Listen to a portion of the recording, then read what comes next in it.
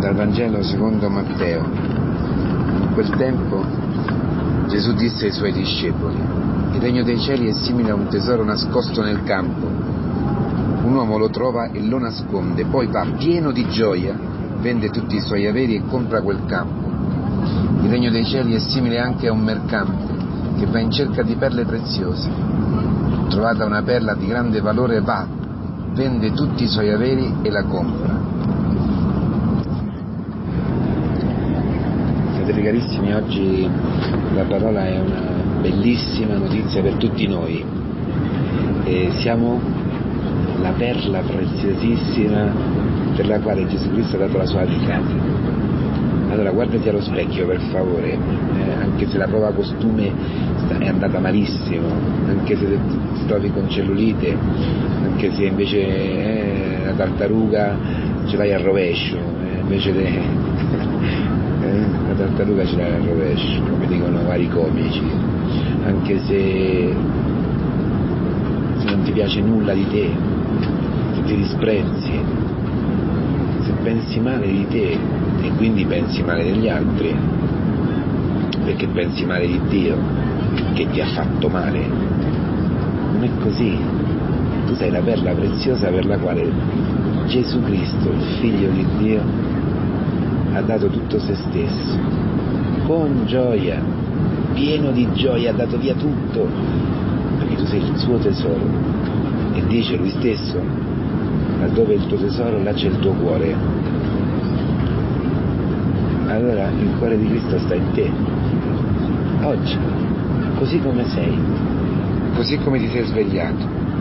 Oggi il cuore di Cristo è in te. C'è notizia più grande? C'è notizia più bella? Che cosa? Che tuo figlio ha trovato lavoro? Che gli esami hanno dato esito negativo? Non, non hai quel male che pensavi di avere? Che cosa? No, la notizia più grande è che tu sei la perla preziosa che per comprarla Cristo ha dato la sua vita e ora sei nelle sue mani, ora sei la sua perla, oggi sei la sua perla, oggi sei il suo tesoro, vero. Coraggio fratelli, questa parola ci aiuta a comprendere il combattimento di cui parlavamo ieri, ci aiuta a comprendere la nostra vita. E perché? Probabilmente eh, siamo ancora così attratti dalle cose della carne, perché ancora dubitiamo, perché ancora non ci buttiamo nel Signore, perché ancora non obbediamo sinceramente alla Sua parola, perché in fondo non lottiamo, non combattiamo, non, non passiamo, non respiriamo con questa preghiera che dicevo ieri, no? Signore Gesù Cristo, Figlio di Dio, abbi pietà di me che sono un peccatore perché questa non è una preghiera che muove ogni istante della nostra vita, che informa ogni istante della nostra vita, che irrora ogni istante della nostra vita. Perché non avendo questa esperienza di essere la perla di Cristo, è inutile, non c'è gioia, non c'è, non c'è nulla è una relazione fredda, una relazione automatica, una relazione imposta probabilmente, quella con lui. Allora, ascoltate bene, la perla preziosa che incontra questo uomo, dice il regno di Dio, eh? il regno di Dio è simile a questo, cioè quello che, è, che costituisce il regno, quello che è l'essenza del regno, è questo incontro. Allora, cosa incontra questo uomo che sei tu e tesoro mio? Che cosa incontra quest'altro uomo che scava e trova il tesoro? Che cosa incontra? Incontra che è la perla per quella perla che incontra. Che lui è il tesoro per quel tesoro che incontra. Cioè, quello che incontra Cristo è il suo tesoro perché lui è il tesoro di Cristo, perché scopre di essere il tesoro di Cristo, cioè scopre di essere amato in maniera unica, irripetibile, incommensurabile, imparagonabile. Perla di grande valore che non si può paragonare, che non si può eh, neanche quantificare il valore, è questo, è Cristo che ti ama come la sua perla unica e preziosa. Quando si dà questo, questo incontro, dà questa scintilla, allora c'è questo tempo per cui lasci lì e vai, vendi tutto, c'è questo tempo per vendere, per abbandonare, per tagliare, per convertirci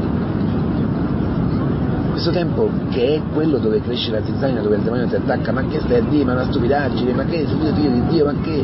Cioè, questo tempo diventa un tempo fecondo, un tempo dove tu difenderai con la con il sangue, con, con i denti, quella perla che hai trovato, perché non ce n'è, non ce n'è nessun altro, né tuo marito, né tuo padre, né tua madre, nessuno, né fidanzato, né fidanzata, niente.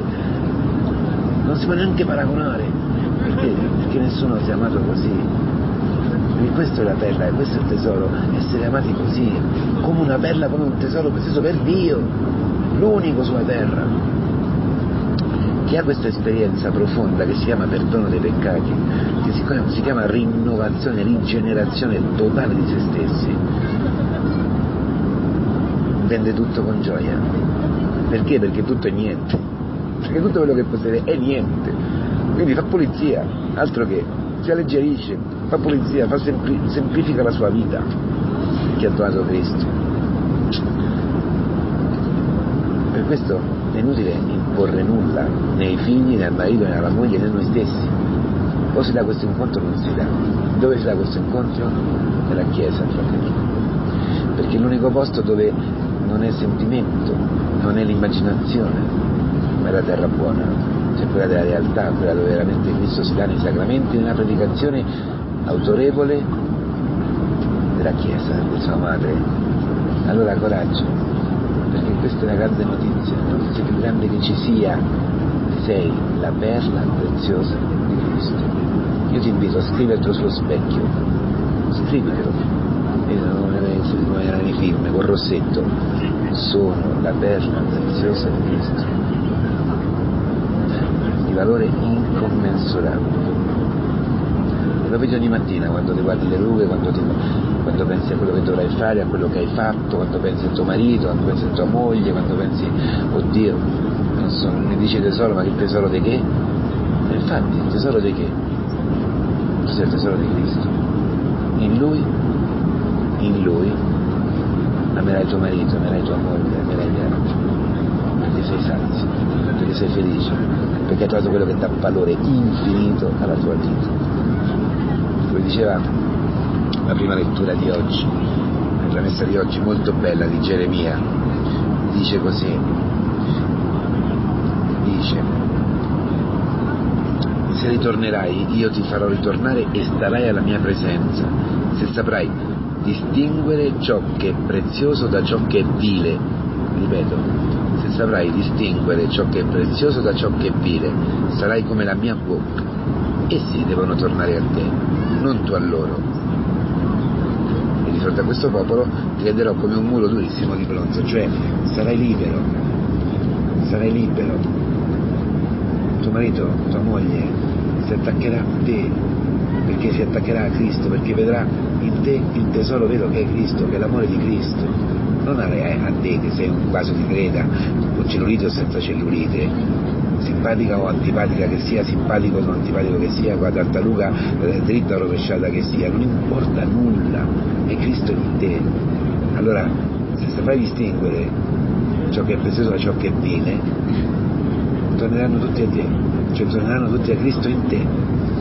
Il matrimonio sarà meraviglioso, anche se oggi fanno la relazione con tuo padre, con tua madre, con i tuoi figli, con quel fratello, con quel collega. Vedrai meraviglia. Sei la perla preziosa di Cristo, sei il suo tesoro, infinito, incommensurabile. Tu vali infinitamente, vali ogni goccia del sangue di Cristo, versato per te, ogni tutto, tutto se stesso versato, offerto per te non lo dimenticare mai, fanne memoria ogni giorno e chiedi al Signore, chiediamo al Signore di sperimentarlo ogni giorno. Buona giornata.